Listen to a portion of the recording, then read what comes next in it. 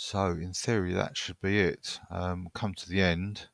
There's just a few things to do. Um, just to tidy up. First thing is to create this file. I find this extremely useful, especially if I, for example, if I left this system on here and I come back to it in a couple of months' time, even probably a couple of weeks' time, I'll look at this and think, well, what have I installed here? Is it Debian Gentoo or is it Linux from scratch? Well, putting that on there, once I found out it's a Linux from scratch installation, this will actually tell me what version has been installed. So if I come here, I can look for this file um, and it tells me that it's Linux from scratch because it's Linux from scratch release file is there and it's version 12.1 and it's a systemd version as well. There's these two files which are useful to put on. I think every, as far as I'm aware, nearly every, certainly every distribution I've used has got the OS release file. So I always tend to look for that if I come across uh, a Linux I've installed on a hard disk. You know, if I'm moving hard disks around or I dig out a machine to use, um, I always look for this OS release file, and that tells me straight away what um, version, what distribution has been used.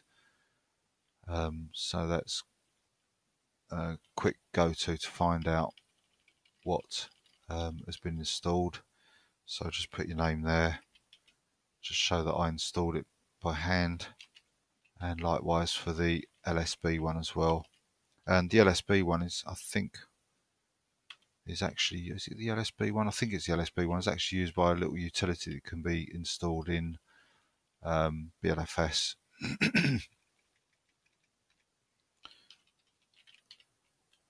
so they're complete so anytime I come back to this I boot this, I can look at any of these files. So like I said, normally I'll go to the OS release. It tells me straight away it's Linux from scratch and it even tells me what version I've installed as well without even having to look at LFS release.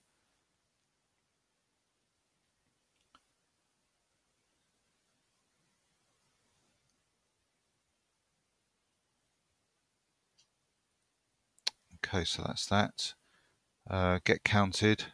Um, you can go here uh, to register yourself as an LFS user, which might be nice for the editors to know how many people have had a go at it. Rebooting the system, um, there's some things um, you might still want to do uh, to install firmware for any kernel driver that your hardware requires. You might not know that until you've rebooted. Um, ensure the password is set for the root user. We've already done that. If we can't get in, we'll just have to reboot from a live um, USB again and set it inside the root environment and you might want to review these files again which we've already set probably don't need to but um, you might want to review them now let's log out from the root and unmount the virtual file system. So let's run through these.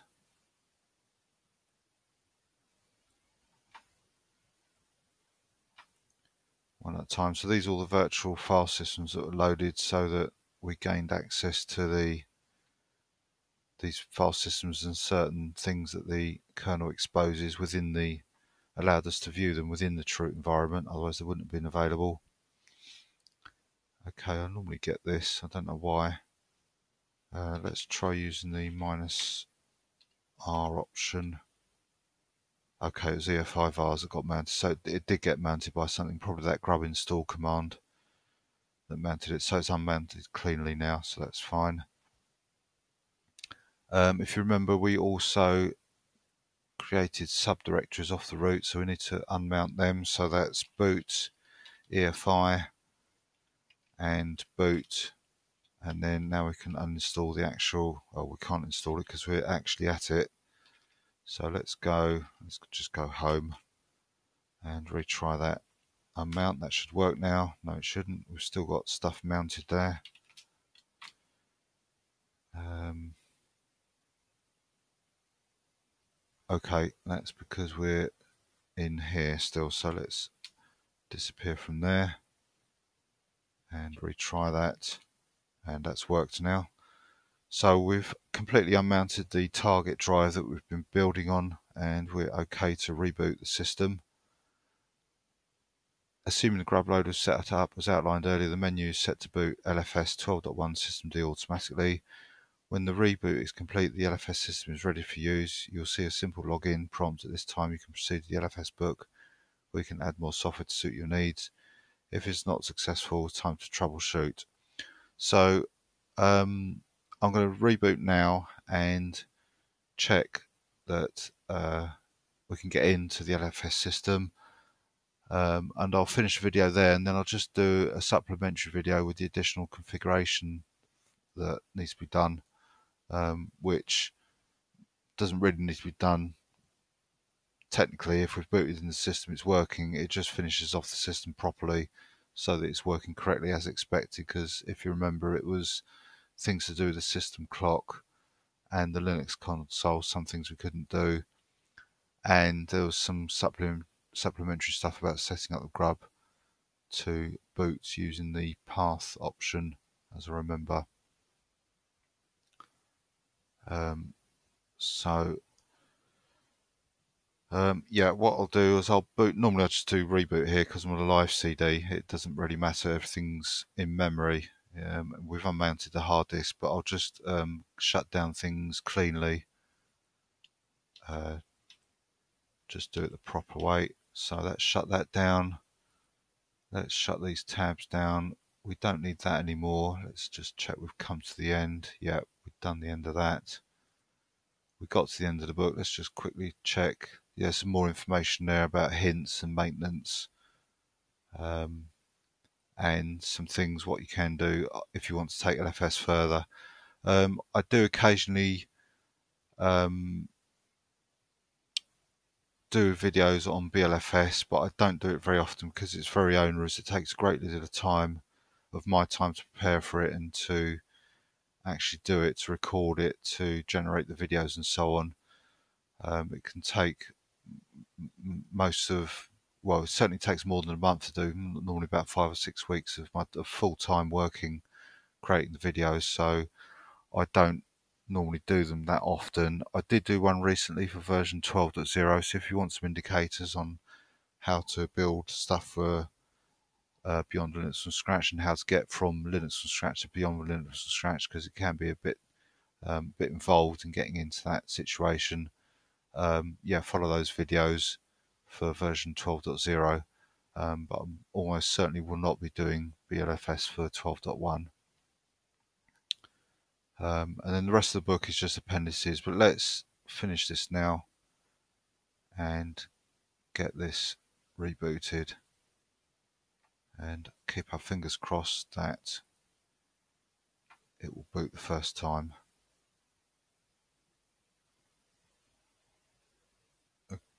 Okay, so I'm waiting for it to reboot now. I've removed the USB drive.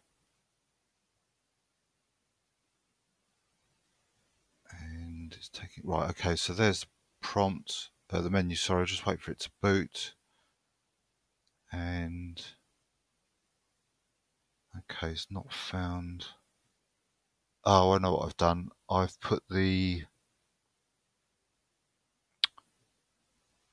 Yes, I've specified partition 4 for where it's to find the uh, kernel files and that's incorrect. It should be partition 1 because it's a separate boot partition. So what I need to do is, uh, I've pressed C there to get a command prompt up. I'm going to type in set root equals unbracket hd0 comma 1 and then I'm going to press escape to go back to the menu and then press enter to boot that. Yes, it's booting now. And we've got one problem with the console setup, but then that wasn't complete, so that's okay. Um, and that's probably why we're getting kernel messages printed up on the screen after the login prompt has come up. So if you can see, if I get my cursor over, there's the login prompt, but all these kernel messages have appeared and that's because the console hasn't been completely set up properly but at least we've booted if I press enter you can see we've got a command prompt So what I'm going to do is attempt to log in. And yes, we've got a prompt, so we're in. So the first thing I'm going to do is to modify the grub config file to point to the correct partition. So I'm going to do mount forward slash boot and it says it's been mounted.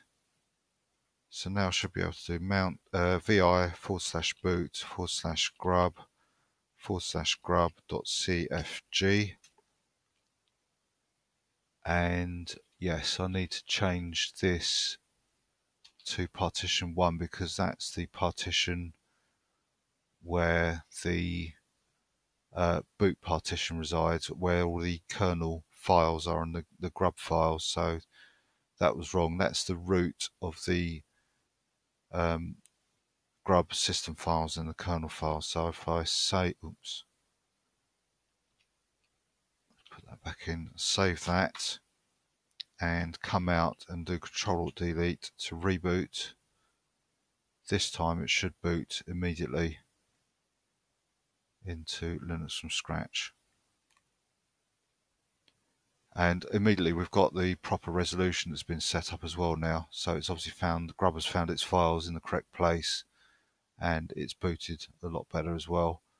The uh, You can see the messages coming up straight away. So we've still got the kernel messages coming up. Um, but what I should do is do that in a separate video. Um, if all you're interested in was getting Linux from scratch up and running, we've achieved that. Um, as you can see, we've got a prompt. We can log in, and you know, in theory, we don't need to go any further. Um, what we'll do is try to ping the network, and yes, it's pinging my network server. So that's or my name server rather. So that's working fine. Um, let's try pinging something outside of my network. So if I do Linux from scratch.org, uh, for some reason that's not working. So there may be some more configuration to do network wise. So maybe the DNS resolution is not working properly. Um, yeah, the name server has come up completely wrong.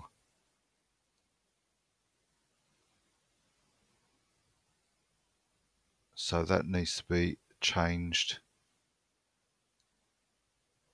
But at least the IP address, uh, the um, sorry, the network card name is correct. ENP0S31F6. Um, so it's nearly there. Um, but yeah, apart from that, everything else is working. We can go into sources, see all our files there. We could, for example, if we wanted to, um, recompile some stuff. In fact, one thing I will do, I've just remembered, is the Python tests um, because I left Python running. Oh, sorry, the Python sources. So I'm going to change into that and just get up on another terminal the Python page. Uh, one system D.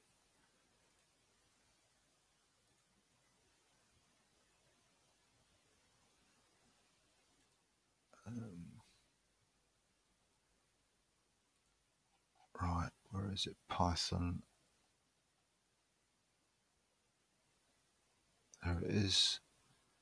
So I did everything except for test this. So I'll run this now and see what the tests are like, see if they're any better than usual. Usually they don't really work very well.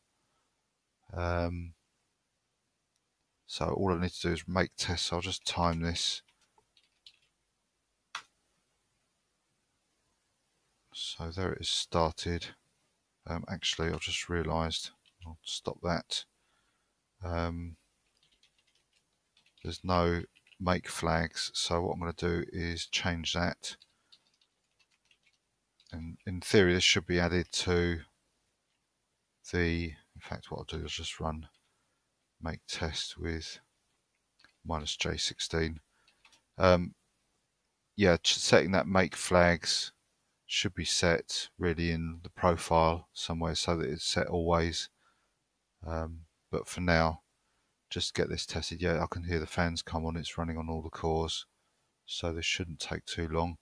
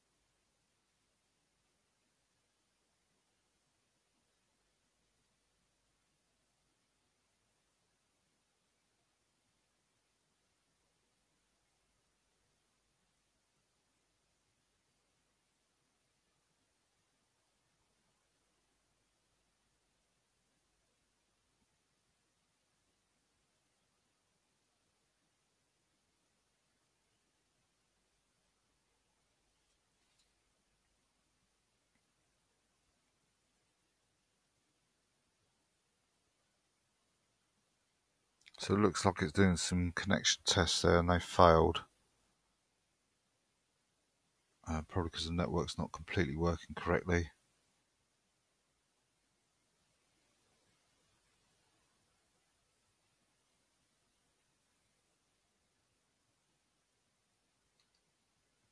So it looks like it's still running yet. It's run so let's have a look, we've got two failures and looks like they were to do with networking. Oh, six tests failed again. 25 was skipped.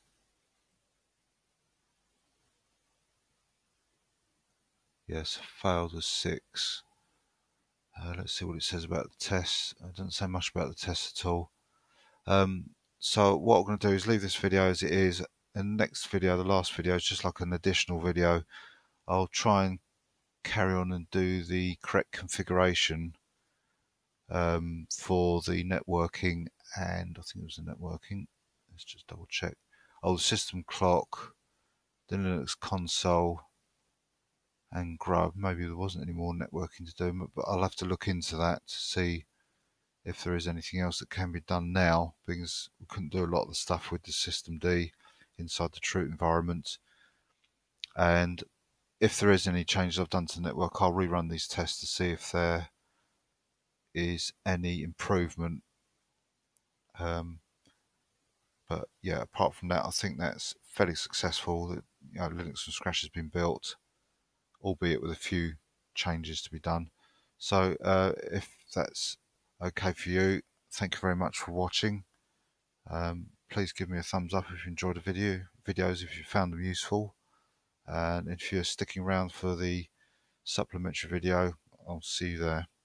Thank you. Goodbye